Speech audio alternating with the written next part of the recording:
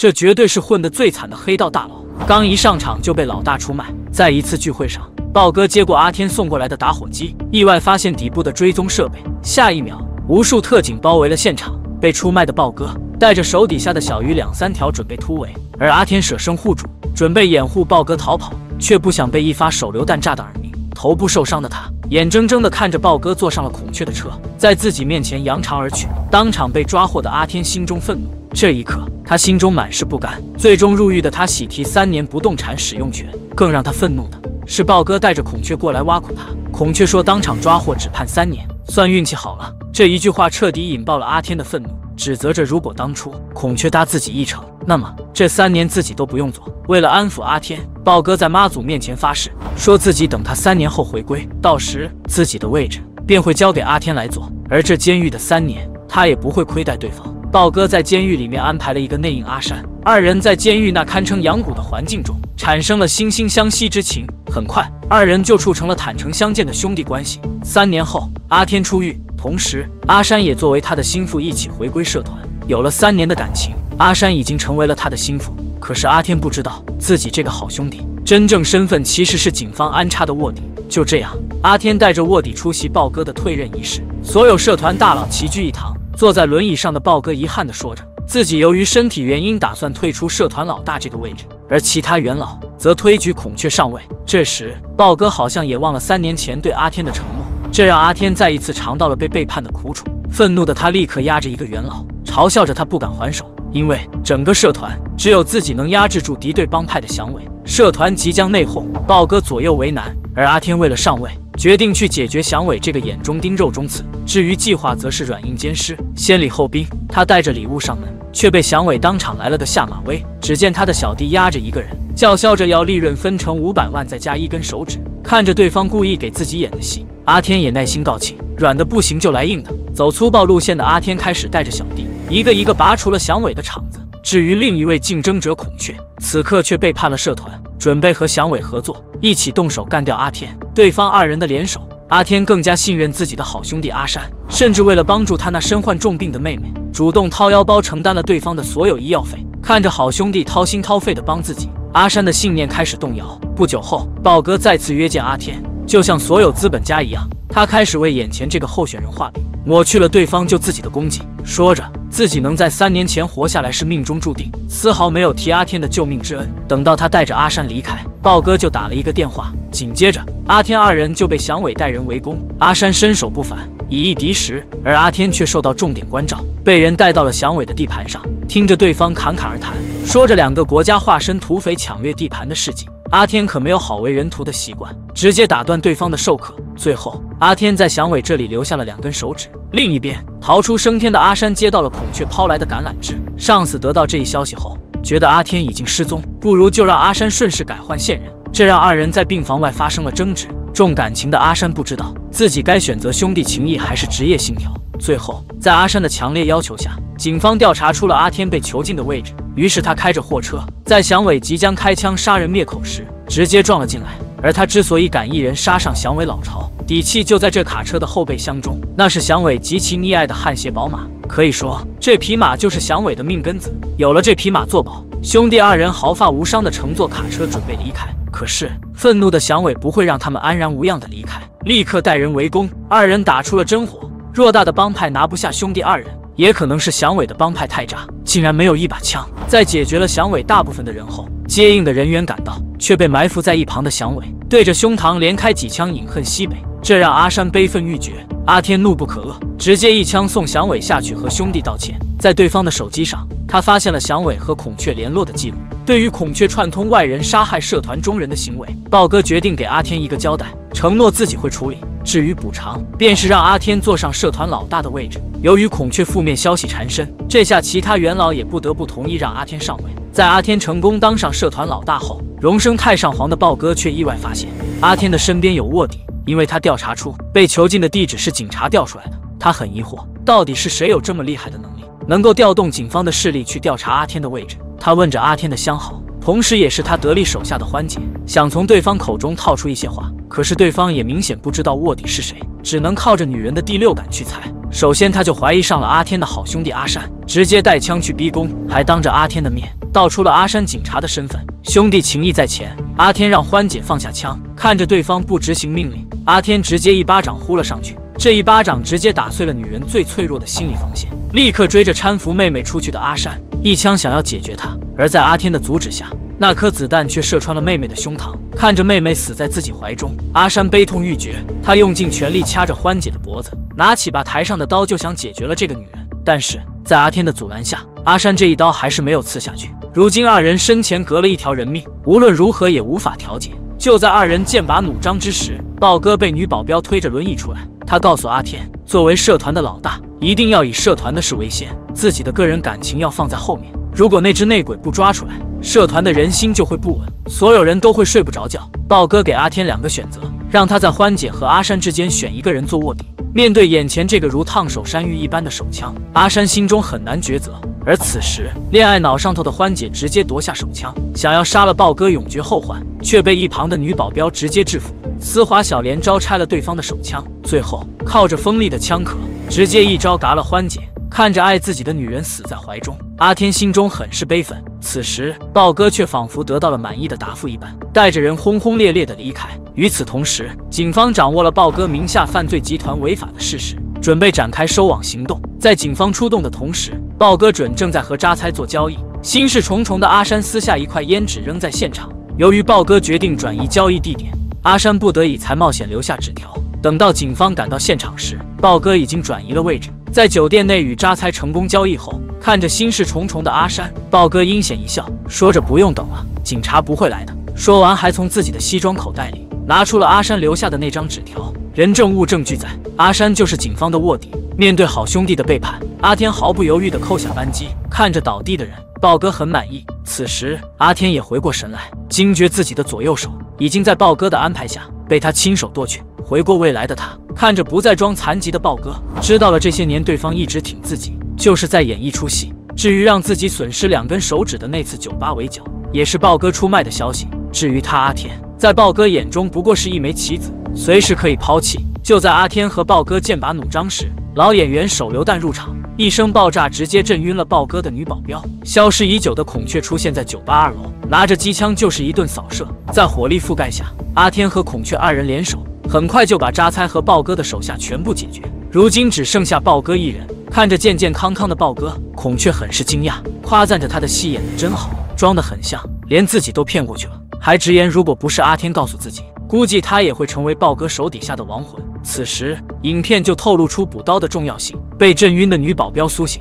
利用爆炸时产生的碎片直接嘎了孔雀。如今只剩下孤军奋战的阿天，还被对方打得毫无还手之力。殊不知螳螂捕蝉，黄雀在后，晕倒的人可不止女保镖一个。原来早就看穿豹哥计划的阿天，和阿山一起做局，演戏可不止豹哥一个人会。穿着防弹衣的阿山苏醒，两人联手把女保镖送下了地狱。现场只剩下豹哥一人，很快他就被阿山制服。同时，阿山利用豹哥的手机向警方发送了实时位置。怒发冲冠的阿天看着在自己面前苦苦哀求的豹哥，听着对方说警察要到了，想让自己放他一条生路。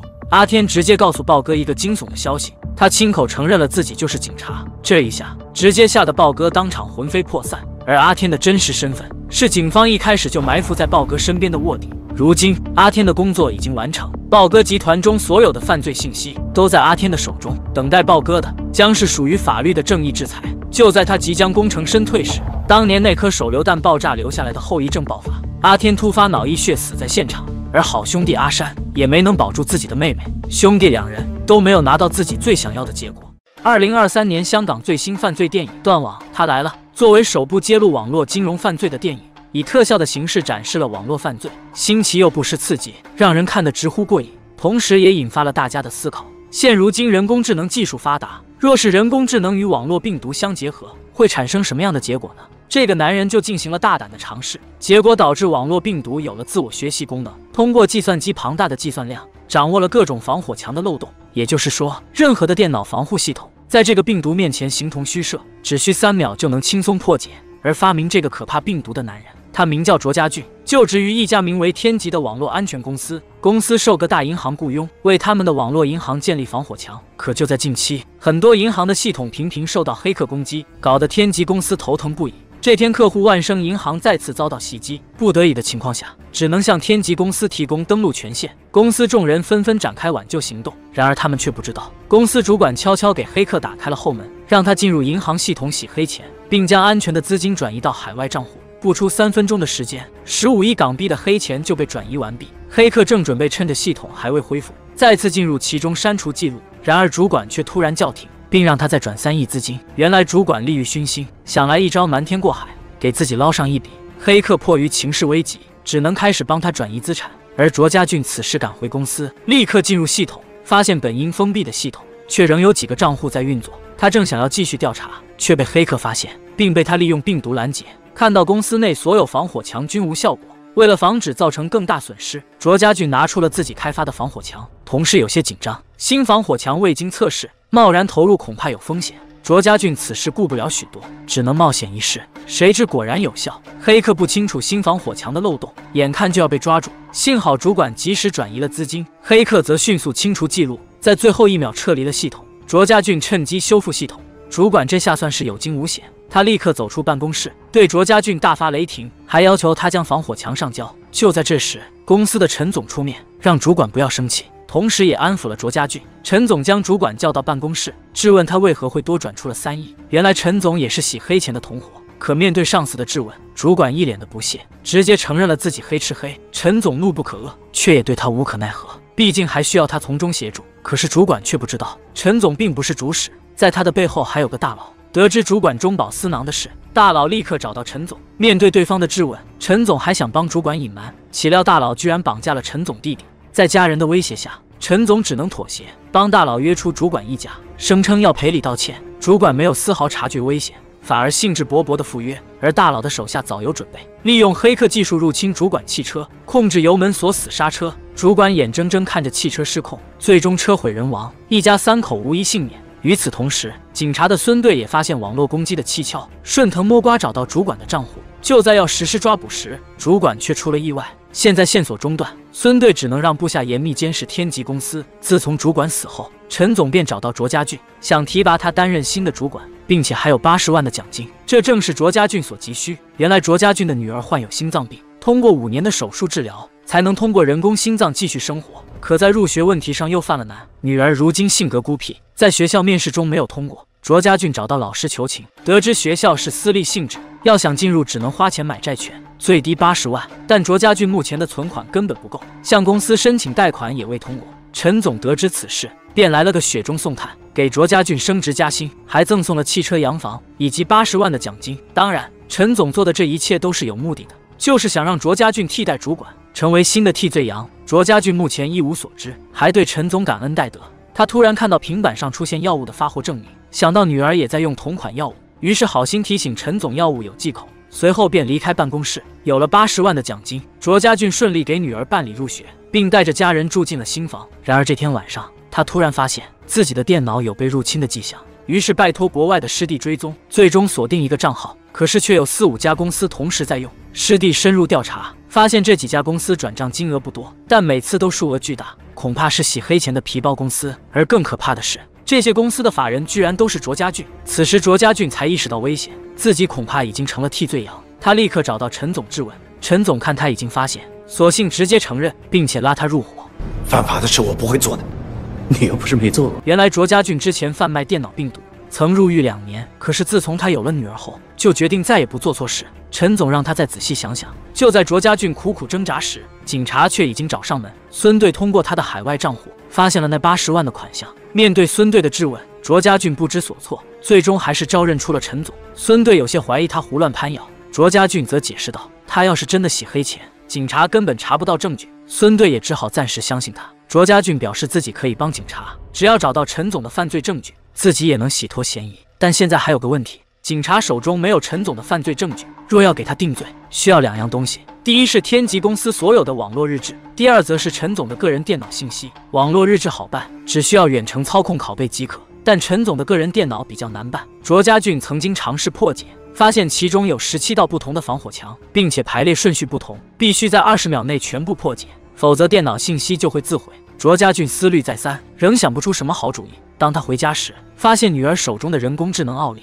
这是他专门给女儿开发的。卓家俊灵光一闪，想到可以通过人工智能结合病毒，让病毒自我学习破解防火墙。在师弟的帮助下，卓家俊将两者结合，并通过公司的服务器进行学习，只等测试过后就能投入使用。然而陈总却不给他这个时间，很快大佬就要进行下一轮的洗钱。这次的金额是二十亿。卓家俊假装答应了与陈总合作，并打开了安保系统的后门。黑客趁机入侵，卓家俊则悄悄给孙队打去电话，将公司系统分享给他。孙队趁机复制公司的安全日志。卓家俊看陈总的注意力集中在洗钱上，便悄悄来到公司机房，将未测试的人工智能病毒载入。结果只用了三秒钟，就将陈总的十七道防火墙全数破解。卓家俊立刻通过 U 盘开始下载信息。此时他注意到。陈总的电脑有访问过暗网的记录，但现在时间紧迫，他也来不及细想。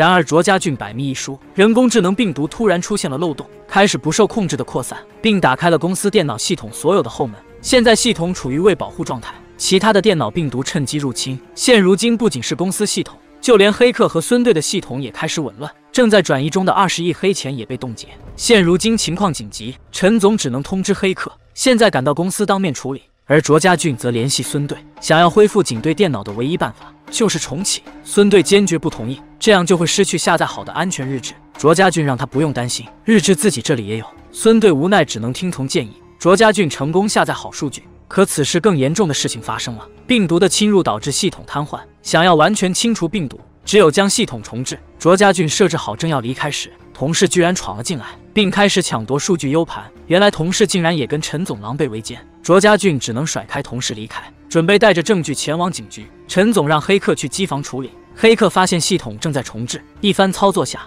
总算将系统恢复。可黑钱依然在冻结中，并且病毒开始大规模扩散，全香港的网络系统都受到了攻击。想要彻底解决病毒，只有卓家俊才能做到。陈总立刻联系手下，趁机掳走了卓家俊，却没想到他身为一个码农，身手居然也相当不错。在数名手下的追击下，还是顺利逃出升天。卓家俊来到警局，准备将证据交给孙队。然而妻子突然赶到警局，让他不要报警。原来陈总竟然绑架了他女儿，威胁卓家俊来公司清除病毒。卓家俊为了女儿，决定铤而走险，他自己赶回公司处理病毒，让妻子耐心等候，自己会趁机恢复女儿的定位手表。到时候妻子再救出女儿。卓家俊回到公司，随着他一阵操作，病毒开始被逐渐清除。系统后门也在关闭，卓家俊恢复了女儿的定位手表。得知女儿的位置，妻子立刻赶去，并与女杀手纠缠在一起。在母爱的加持下，妻子爆发力量，将女杀手摔倒在地。然而女儿的人工心脏电量即将耗尽，妻子急忙带着女儿赶往医院。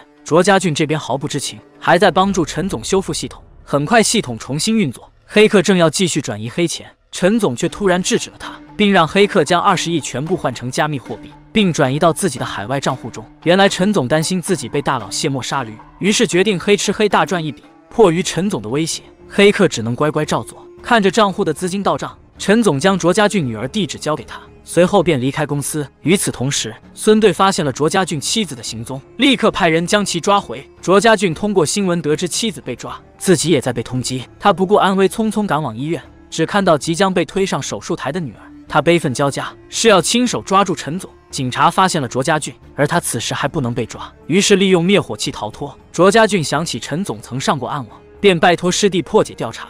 得知陈总居然在暗网买了两本假护照以及一把手枪，卓家俊意识到情况不妙，打电话联系孙队，将护照的信息传过去。孙队一方面安抚卓家俊的情绪，另一方面却在安排警员前去抓捕卓家俊。情绪失控，立刻挂断了电话。他为了找到陈总，联系了之前的交易伙伴。通过对伙伴的威胁，成功破解了陈总的手机，并在上面植入木马，锁定了陈总的位置。卓家俊还入侵了最近的监控摄像，果然发现陈总的踪迹。没想到他如此心狠手辣，为了没有后顾之忧，居然直接枪杀了大佬。现如今他准备带着弟弟离开香港。卓家俊将监控画面以及陈总的定位分享给孙队，孙队立刻实施抓捕，却不料陈总如此狡猾，直接扔掉了手机。前往他家的警员也一无所获。陈总早在三周前就卖了房子。现在根本不知道他的去向。卓家俊正在懊恼之时，突然想起那条药物发货短信，于是立即入侵重间医务中心的系统，总算发现陈总的购买记录，收货地址就在美丽都大厦。卓家俊立即通知了孙队，自己也急忙赶去。果不其然，这里的确是陈总的临时住所。等他回家收拾行李时，卓家俊突然从床下杀出，与陈总扭打在一起。慌乱中，陈总还想开枪，不料正好打中床上的弟弟，导致他当场死亡。就在陈总愣神之时，卓家俊立刻上前将他锁住。孙队也及时赶到现场，总算将陈总抓捕归案。卓家俊也成功洗脱嫌疑，一家人又和和美美的生活了下去。美女正对着眼前的倭寇搔首弄姿，倭寇一把将美女搂入怀中，正要上下其手时，美女却提出要跟他玩个情趣，只要能接到这颗葡萄，还有更好玩的等着他。可当倭寇吃下葡萄后，却突然吐出一口鲜血，随后倒地身亡，而他的后脑勺插着一把匕首。这便是上海滩神秘游侠叶宵所为。传闻中，夜宵来无影去无踪，专门惩治恶人。巡捕房探长贪污成性，正在数钱时就被夜宵扔出窗户摔死。两个汉奸刚刚投靠日本人，晚上坐在一起喝酒吹牛，不料下一秒夜宵出现，两柄飞刀送他们去见了阎王。这晚黑帮正在火并，龙虎堂占据绝对优势，男人苦苦哀求，希望龙虎堂放过他的孩子，然而却被拒绝。斩草除根是江湖规矩，关键时刻，叶宵的一柄飞刀扔出，立刻吸引了龙虎堂众人的注意力。随着一声令下，众人冲向叶宵，然而他丝毫不惧，身法鬼魅，犹如幽灵，在场之人皆不是他一合之敌。就在这时，龙虎堂二当家冷雨开车撞来，叶宵猛然后退，接着一个转身越过车顶，冷雨开始倒车，却不见了叶宵踪影。他下车查看，叶宵突然从车下袭击，龙宇立刻反击，他的身手也相当不错，竟能跟叶宵打得有来有回。可惜终究还是不敌，被一脚踢飞。冷雨气急败坏，从车里拿出宝剑，随后猛然冲向叶宵，然而没有丝毫作用，反被叶宵夺走宝剑，接着一脚踢翻。手下此时挟持了孩子，试图威胁叶宵，却没想到自己反被一刀刺瞎眼睛。冷雨无力追击，只能眼睁睁看着叶萧带着孩子离开。叶萧的事迹很快传遍上海滩，普通民众纷纷将其视为英雄，说书人还专门讲述他的英雄事迹。日本人山本非常恼怒，只因叶宵杀的倭寇正是他的亲弟弟。山本立刻下令全力追查叶宵下落。此时的巡捕房内，新探长也是急得焦头烂额。山本专门将他找来，希望巡捕房能全力寻找叶宵。探长一口答应下来，毕竟他的上一任就是死于叶宵之手。可他们都不知道。大名鼎鼎的游侠叶宵，平常竟然只是个车夫。他名叫嘉豪，练就一身好功夫，却不因此仗势欺人。恰恰相反，他收养了许多流浪儿童，并努力赚钱养活他们。上次被救的孩子，现在也在他们之中。嘉豪知道他一时无法从悲伤中走出，只能拜托刘姨好好照顾他。到晚上，嘉豪跟两个好友喝酒吹牛，好友小胖对夜宵赞不绝口，同时也十分欣赏。要是他有夜宵的本事就好了，惹得嘉豪两人哈哈大笑。好友大和提醒嘉豪，什么时候跟青梅竹马素雅成亲？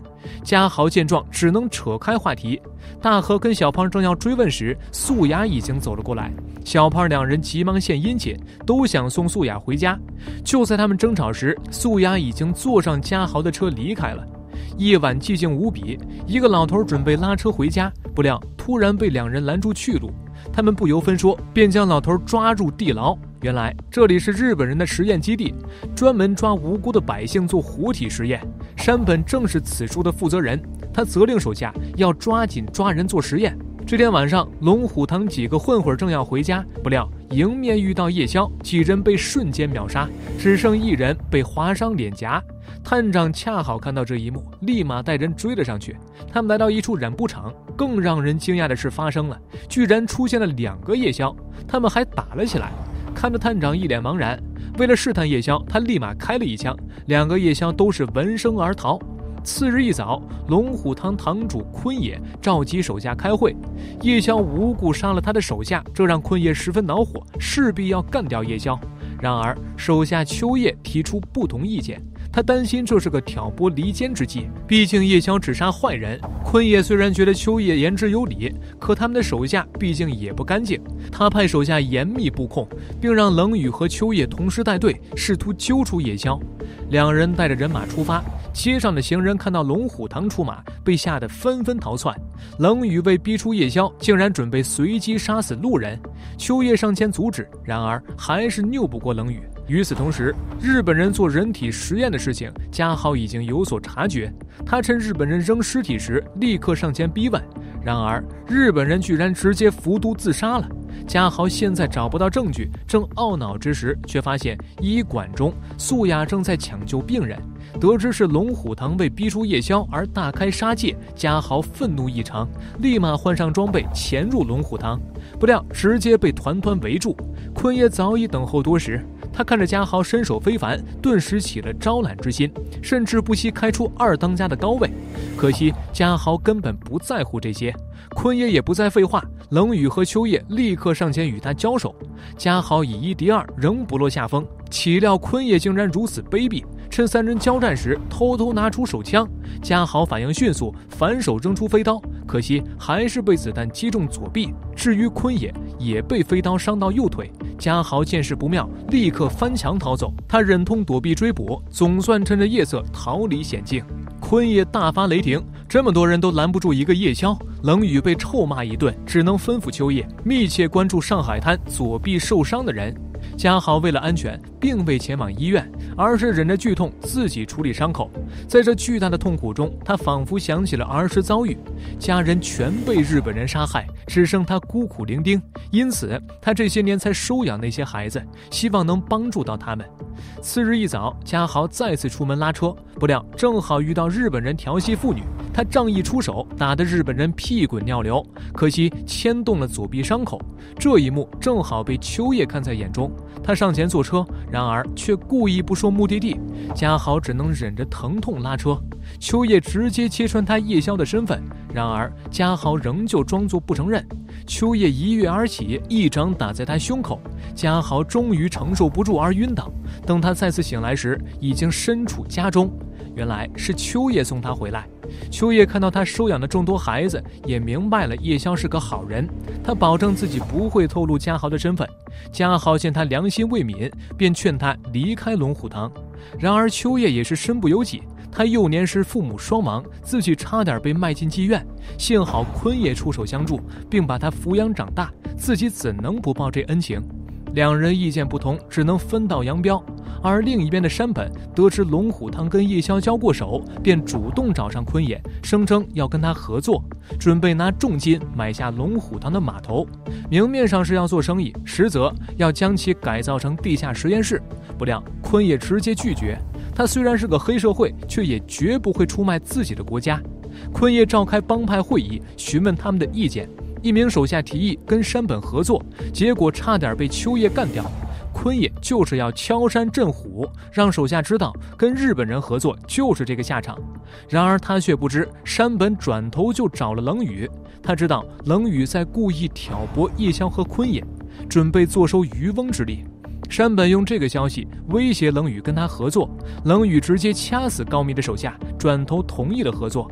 为了揪出真正的夜宵，他先是找借口支开秋叶，得知素雅跟夜宵有关系，便派人到医馆将他抓住，逼迫夜宵露面，甚至还寻到了嘉豪的家中，不仅残忍杀害了刘乙，还将孩子全部抓走，送到了山本的实验基地。等嘉豪赶到家中，只看到倒在血泊中的刘乙，他立马赶到龙虎堂。此时的素雅遭受酷刑，被吊在木架上。很快，叶宵来到院内，手下上前围攻。叶宵凭借高强的身手穿梭于人群中，可他毕竟双拳难敌四手，很快被人从背后偷袭。随着身体伤口越来越多，叶宵的视线逐渐模糊，很快无力倒地。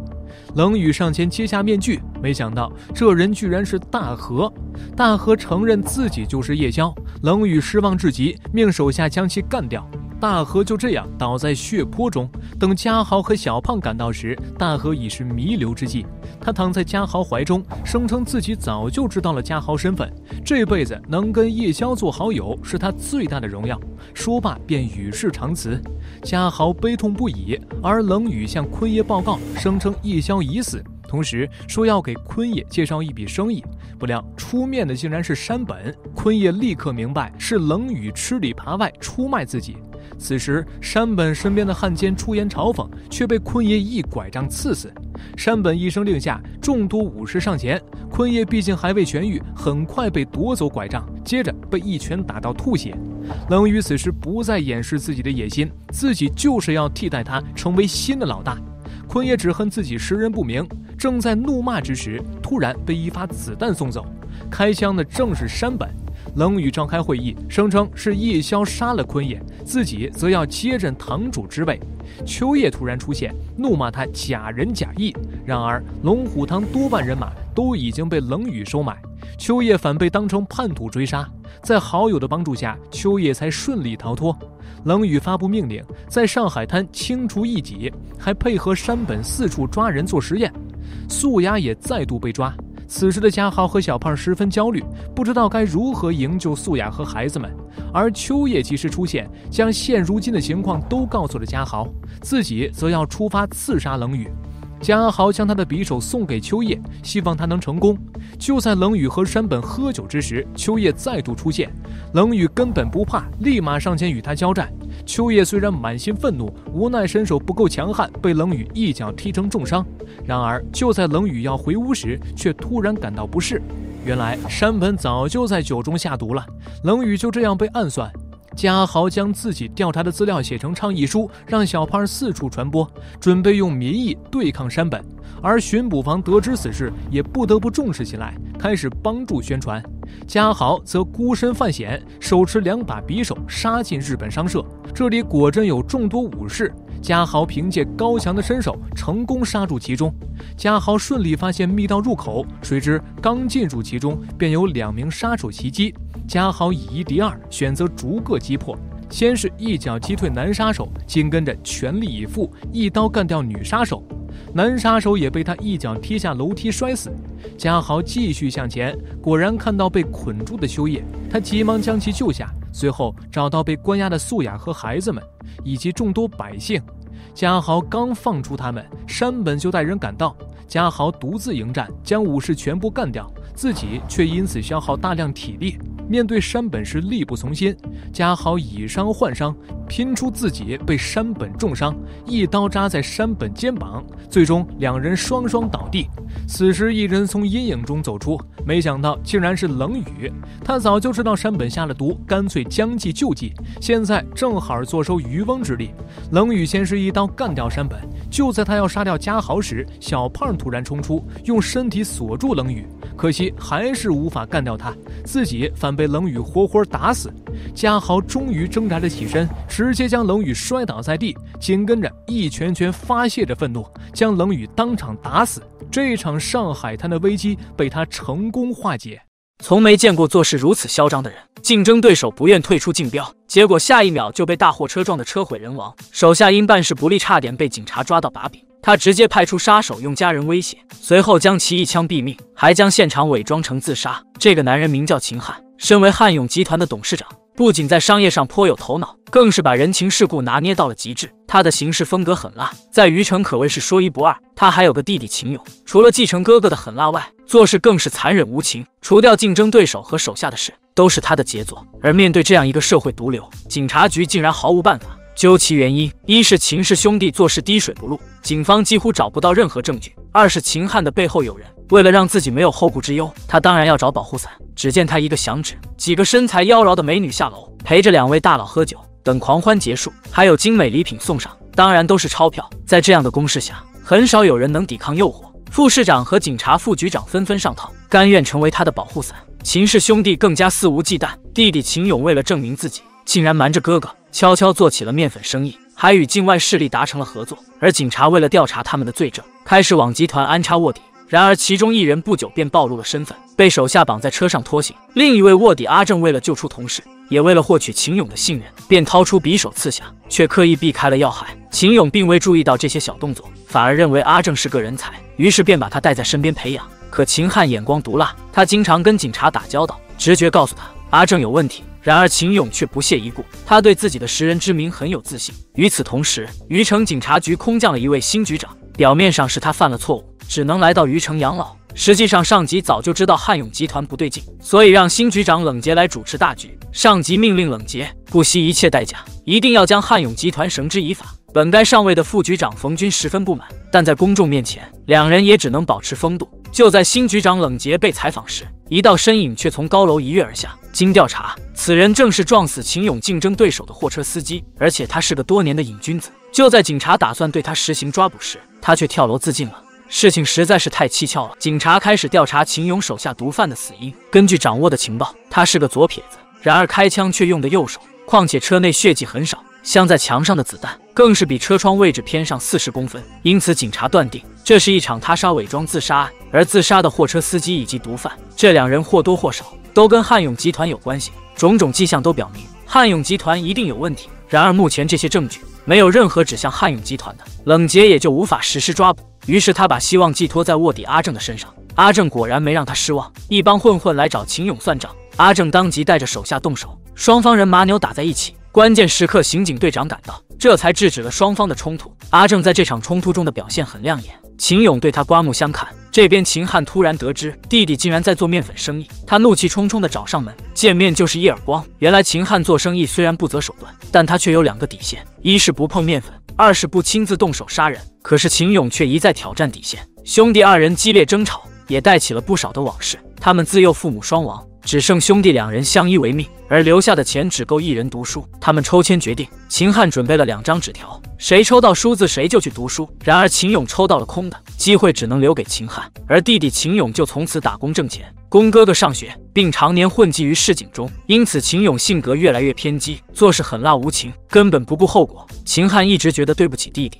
认为是因为自己才让弟弟变得如此偏激，所以这些年拼命的挣钱，就是想让秦勇过得好，不要再去做刀头舔血的事。谁知他如此胆大妄为，竟敢去碰面粉生意。可下一秒，秦汉就闭嘴了。面对整整一墙壁的美金，饶是他见多识广，也不由得被震惊到，于是只能默认秦勇的行为。很快，已经是一月时间，冷杰新官上任，却并未见他有任何动作，不知道冷杰葫芦里卖的什么药。秦汉心中十分没底。于是便约见副局长冯军，想趁机打探一下。然而得知秦勇在做面粉生意，冯军大发雷霆。此事一旦东窗事发，会把他们都拖进泥潭。没想到秦汉却哈哈大笑。既然冯军罩不住，那自然有人能罩。说罢，副市长便被迎进来。副市长见面就询问冯军对冷杰的调查如何。幸好有上级的安排，冯军得到的消息就是冷杰犯了错误被下放。副市长这才放下心来。况且他也有十足的自信，一个空降的局长。怎么比得过他多年的经验？秦汉打了招呼，立马下来几位美女，陪着三人开怀畅饮。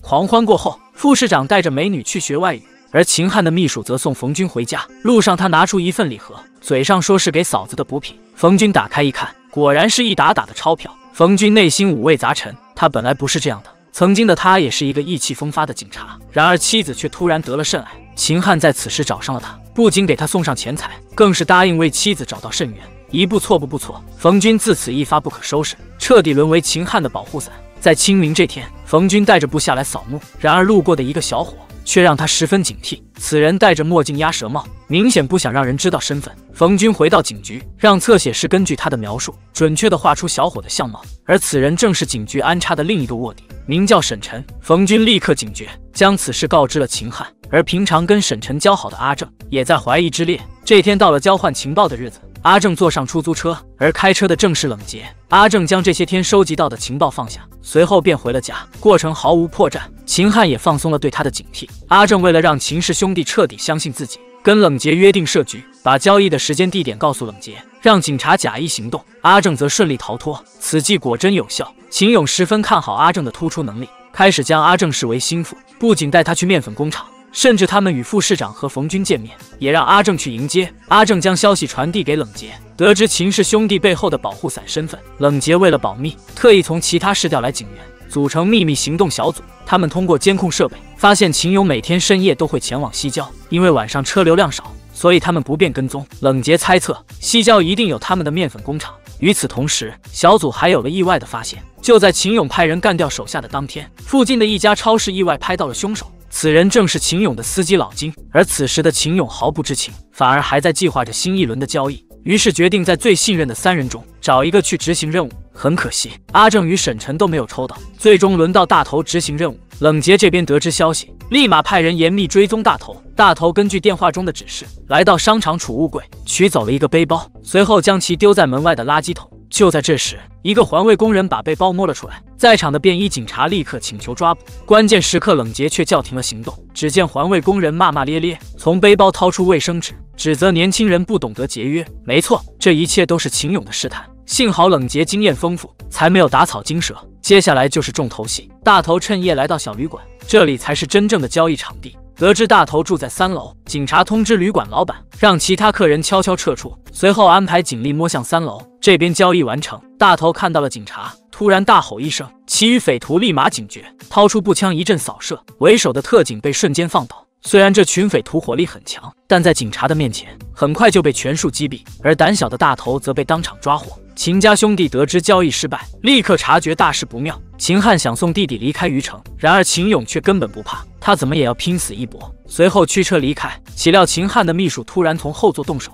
勒住秦勇的脖子，秦勇急中生智，猛然撞向柱子，秘书瞬间被甩飞出去。秦勇明白这是秦汉跟他撕破了脸。他持枪冲向总部，几发扫射解决了一众保镖，随即走进房间。秦勇终于爆发了。原来当年兄弟两人的抽签被秦汉做了手脚，其实两张纸条全是空的。秦勇洗衣服时发现了秘密，从此在内心埋下一颗种子，只不过念在他们兄弟相依为命，秦勇一直没发作。但现在秦汉已经不顾兄弟情，秦勇也用不着隐藏了。他一枪解决了秦汉，随后一方面安排手下前往拘留所干掉司机老金，另一方面则要亲手除掉阿正和沈晨。秦勇让沈晨来工厂商议，阿正想阻止沈晨，但电话已经打不通。等阿正悄悄来到工厂外，却发现沈晨已经被吊了起来。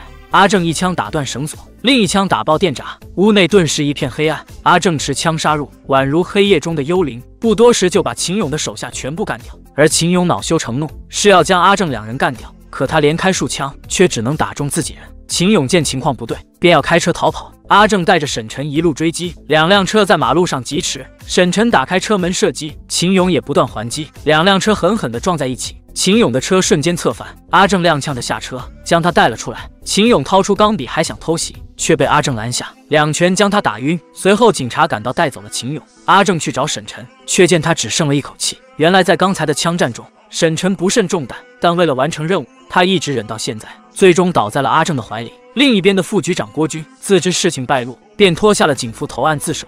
最大的保护伞副市长也被抓捕归案。这场轰轰烈烈的扫黑行动终于落下帷幕。阿正穿着警服站在阳光下，为牺牲的沈晨敬礼，向人民英雄致敬。二零二三年最新悬疑动作片《幽灵狙击手》，他来了，由常威、邹兆龙主演。电影情节紧张刺激，经过多次反转，让人琢磨不到接下来的情节。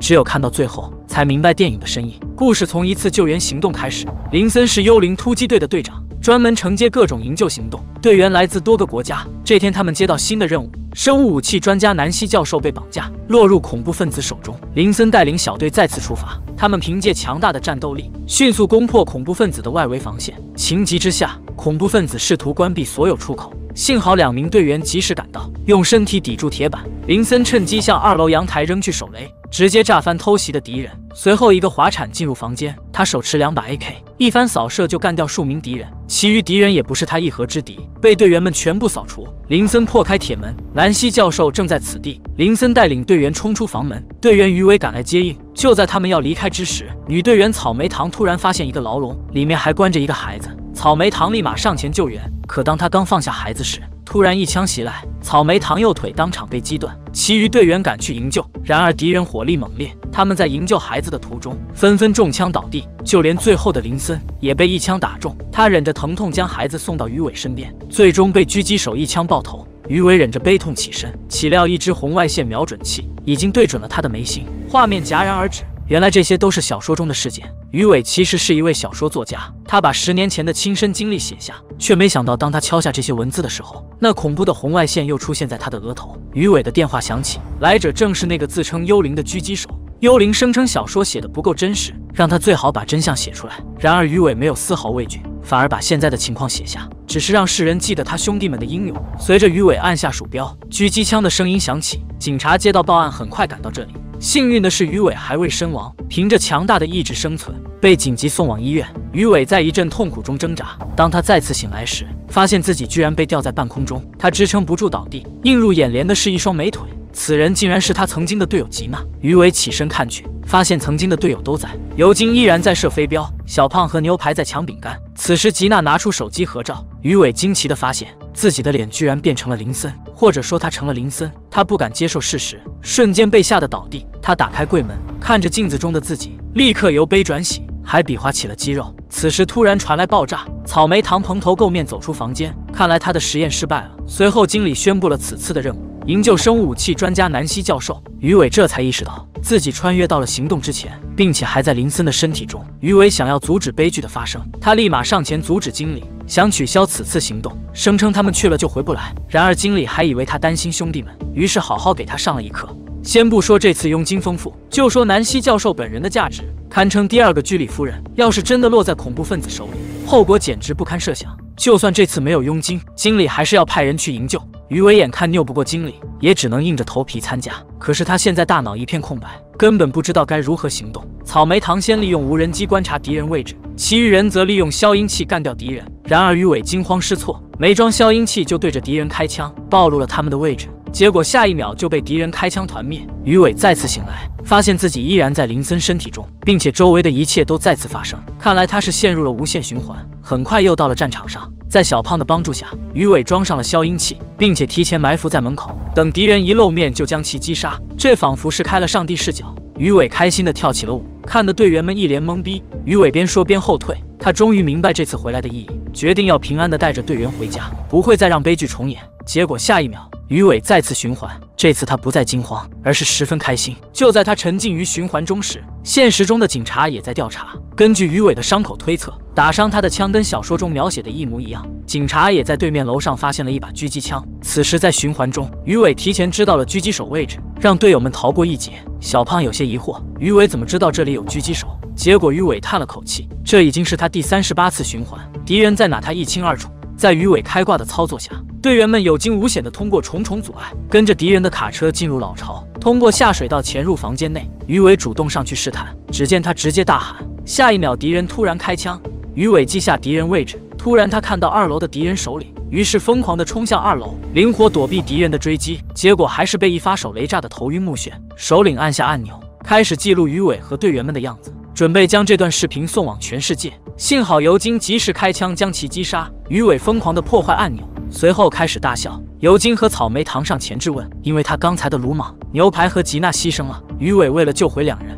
直接掏出手枪自杀，只留下一脸震惊的队员。此时，在现实中，警察找到了于伟的心理医生，询问关于他十年前的遭遇。心理医生本于职业操守，不愿透露病人的情况，可警察也是为了帮助于伟，他只好说出实情。自己只知道于伟患上了严重的战后应激障碍，至于十年前所发生的事，他一概不知。警察的调查陷入僵局，于伟那边还在继续循环。他通过兵器推演，让大家大概了解敌人的位置。然而行动过程中还是出现了意外，牛排被敌人按在二楼杀死。为了救回牛排，于伟再次选择自杀。他明白要完成任务，就必须先训练自己。首先是枪械。经过多次的循环训练，于伟从一个不敢开枪的弱鸡，成了弹无虚发的高手。但在下一次循环中，于伟手枪不小心被击落，只能跟敌人近身搏斗，结果根本不是对手，被狠狠胖揍一顿，还被敌人鄙视。于是他开始训练自己的身手，通过跟牛排的对打，他能轻松压制敌人。并将其活活揍死。然而敌人不讲武德，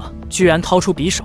鱼尾被刺死后，又跟吉娜学习空手夺白刃，再跟小胖练习擒拿。经过上百次的循环，鱼尾已经完全适应林森的身体，成了一个格斗高手。他再次来到战场，居然卸下所有的装备，仅凭赤手空拳就将敌人全部解决。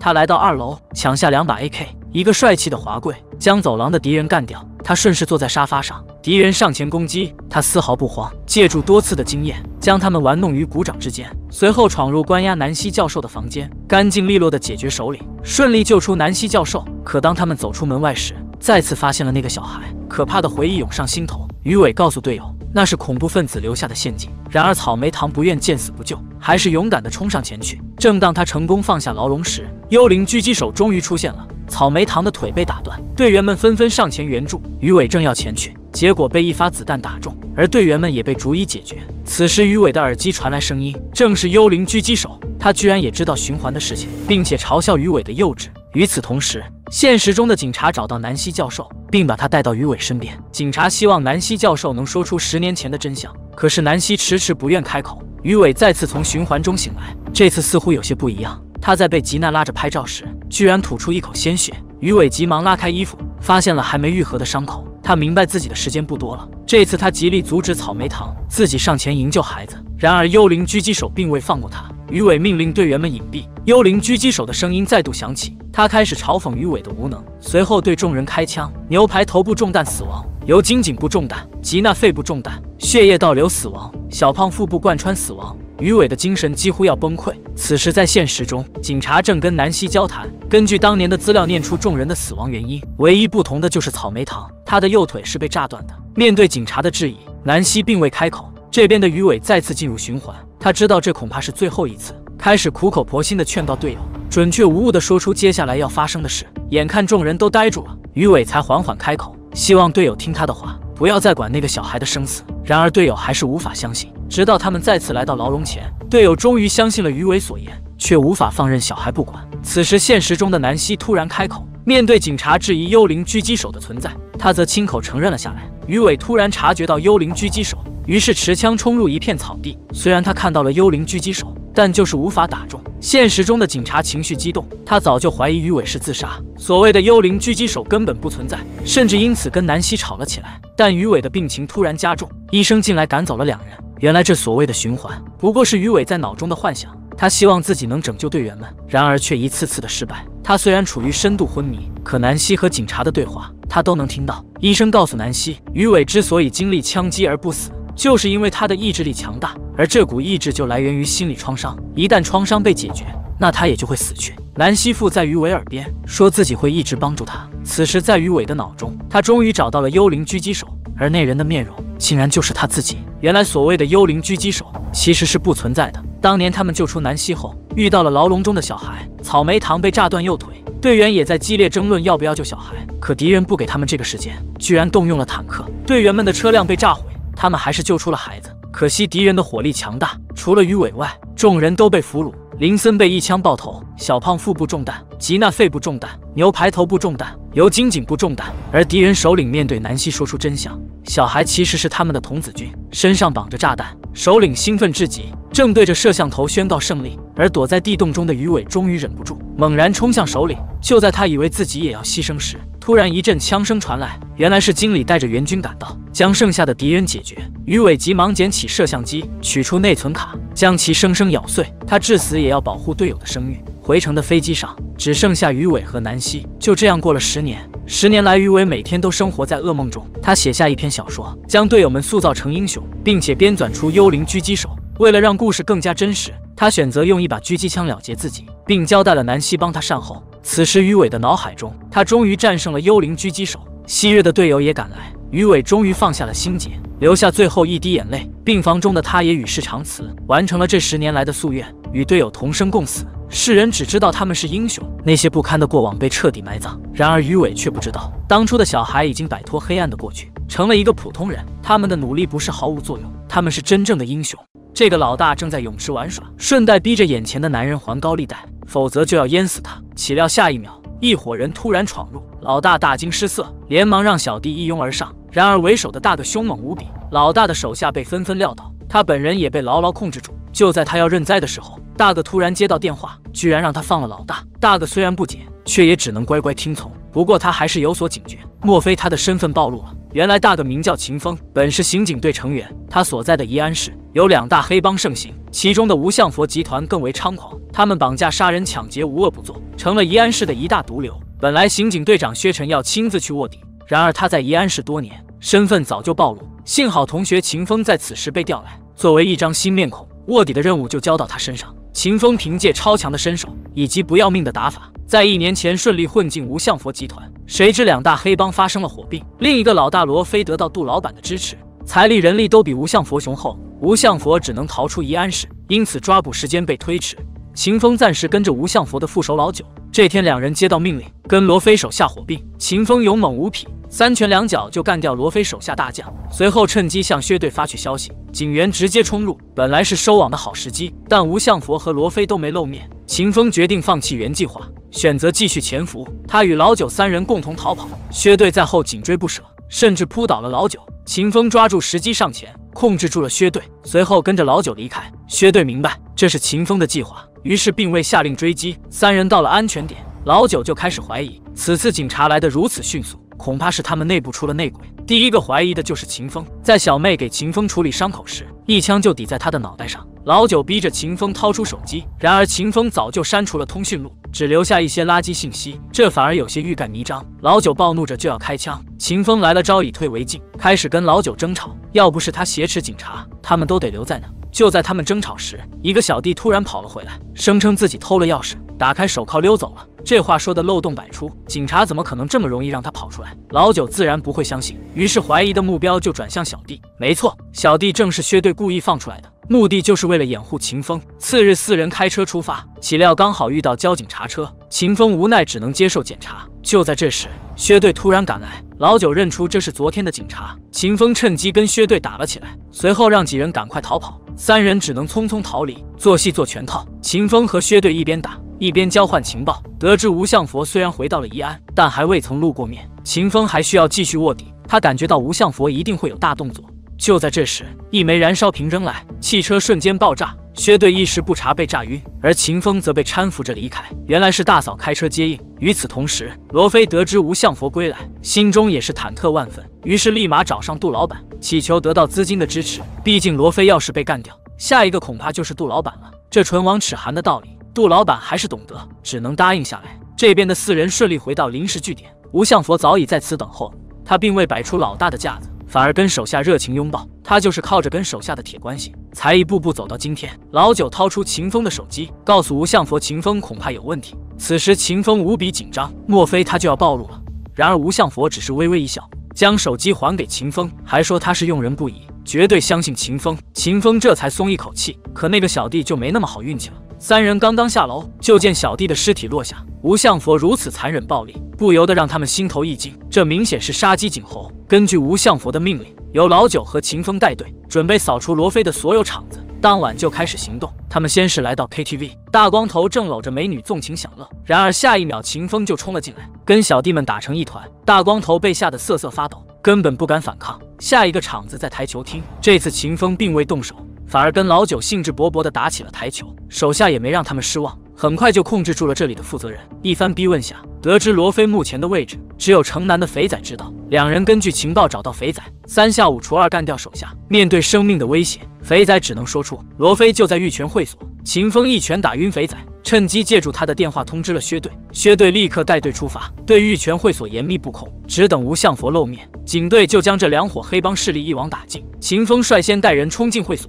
将正在泡澡的罗非当场抓住，随后打电话给吴相佛，询问如何处置。然而吴相佛竟让他们放了罗非。秦风和老九十分不解，却也只能听从。老九一脚踹倒了罗非，随后带人离开。原来吴相佛十分狡猾。他既然已经对秦风有所怀疑，那么自然不会轻易露面。他判断周围恐怕已经有了警察，于是干脆先放了罗非。这样一来，直接打乱警方的布控。而薛队一直没等到吴相佛出现，决定不能轻举妄动，只能安排警队撤离。他回到警局，觉得内心一阵烦躁。吴相佛一定对秦风怀疑，否则怎会轻易放过罗非？他请求局长让秦风撤出，然而局长却不同意。事情已经到了这个地步，只差临门一脚。若是轻易撤出，那秦风几年来的心血岂不是白费？不要说别人，就算是秦风自己都不会答应。薛队无奈只能同意。次日，吴相佛给老九打电话，要他们再次追查罗非的下落。老九被气得不轻，但碍于老大的命令，也只能私下发发牢骚。秦风开车带着老九，开始在城里四处寻找。路过超市时，秦风借口下车买水，此地正是他跟薛队秘密见面的地方。两人交换情报，得知吴相佛想寻找罗非，薛队让他出门后向左看。等秦风出门后，果然见到了罗非手下的肥仔。他跟老九立马上前，一前一后堵住了肥仔。在他们的威胁下，肥仔说出了罗非的藏身地，就在云轩酒店四百零二。秦风一拳将其打晕。原来肥仔早已被薛队控制，刚才也只是将计就计，在警方看来，罗非就是钓出无相佛的鱼饵。现在鱼饵已经抛出，就看无相佛上不上钩了。老九立马打去电话，然而无相佛却不让他们行动，还声称要谢谢秦风。这一番操作下来，老九几乎都要崩溃了。无相佛得知消息，立马向罗非打去电话，言语之间尽是威胁。罗非见状就要服软，但无相佛根本不给他机会。罗非愤怒至极，当他向楼下看去。恰巧看到无相佛的女人，于是他恶从胆边生，竟然下楼挟持了大嫂。离开酒店时，恰巧跟老九两人擦边而过。秦风发现大嫂被绑架，下车去追时，却为时已晚。罗非给吴相佛打去电话，要求用五百万现金赎人，地点就在金泉纺织厂。吴相佛大发雷霆，立刻让老九召集手下，准备到金泉纺织厂跟罗非决一死战。秦风知道必须给薛队留下线索。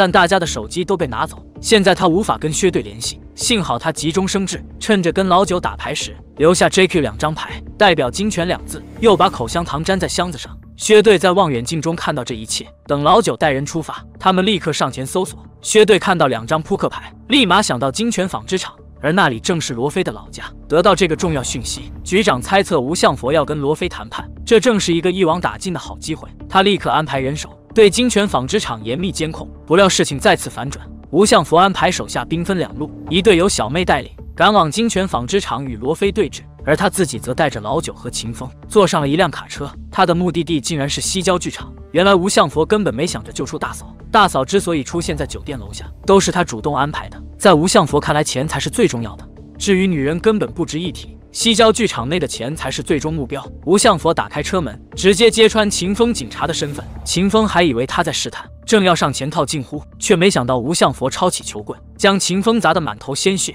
随后一枪正中胸口。秦风摔下卡车。吴相佛此人心狠手辣，宁可信其有，不可信其无。等他赶到西郊剧场时，杜老板正跟其他老总在分赃，已经到了最后时刻。吴相佛持枪威胁，在场的大佬都瑟瑟发抖。不仅在场的现金都被拿走，每个人还要额外给吴相佛一千万。至于为首的杜老板，则需要五千万。另一边的薛队迟迟等不到吴相佛，局长只好下令直接进行抓捕。此时的纺织厂内，罗非没有等到吴相佛来赎人，大嫂似乎已经明白了什么，开始不住的冷笑。罗非上去就是一巴掌，这直接激怒了小妹，她立马上前跟罗非打成一团。在混乱中，刚救出大嫂，警察就蜂拥而至，他们被当场抓获。至于另一边中枪的秦风，他大难不死。被路过的好心人救醒，随后借了电话打给薛队，告知他吴相佛此时就在西郊剧场。薛队立马带着剩下的人马出发，秦风则借走了路人的三轮车，很快就赶到西郊剧场。此时吴相佛正要干掉杜老板，看到秦风居然毫发无伤，立马招呼手下一拥而上。秦风勇猛无匹，宛如虎入羊群，势不可挡。老九抄起大刀砍去，却被秦风一脚踢飞，手下一拥而上，秦风也逐渐力竭，被小弟牢牢锁住。吴相佛一脸冷笑。掏枪就要干掉秦风，关键时刻警察赶到，趁着吴相佛分神，秦风挣开束缚，打落手枪，抓起吴相佛一顿猛揍。就在他要抓捕吴相佛时，却突然愣住了，没想到吴相佛如此疯狂，竟然在腰上绑着炸弹。他开始威胁警察，要么让他带着钱离开，要么大家一起同归于尽。秦风劝告他放下武器，说不定还能宽大处理。然而吴相佛执意一条道走到黑，他情绪激动，眼看就要拉着大家一起死。谁知杜老板一脚踢飞了遥控器，警方的狙击手趁机开枪，终于干掉了吴相佛。这场行动完美结束。薛队问起秦风，怎么他挨了一枪还没死？秦风掏出薛队送他的项链，正是这个项链救了他一命。两人对视一笑，在法律的审判下，犯罪集团的其余人纷纷得到惩罚，而宜安市也终于恢复了应有的平静。在这部电影中，樊少皇饰演的秦风仍然拳拳到肉，打戏让人直呼过瘾。但剧情上却差强人意，没有走出警匪片的老套路。至于曹云金扮演的吴相佛，并没有展现出作为黑老大的霸气，反而更像是个精神病。总体来说，电影剧情过于平庸，除了樊少皇的打戏值得一看，剩下的只有满满槽点。